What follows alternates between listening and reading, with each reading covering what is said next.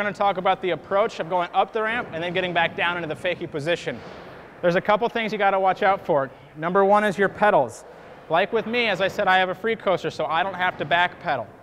If you have a free wheel, you do, and so it won't really make that big of a difference, but always be cautious that you're going to have to pedal backwards. When you're getting ready to go up to the ramp, you don't want to go real fast and get over the ramp. Reason being is you'll get hung up and not be able to do it. Another thing you want to watch out for is going too slow. If you go too slow and you don't get up high enough, it's going to be a lot harder for you to bounce. And you're not going to have enough backwards momentum to keep yourself going. That's problems either way. What you want to do is get a medium to fast pace, just fast enough to get up to the coping but not go over it.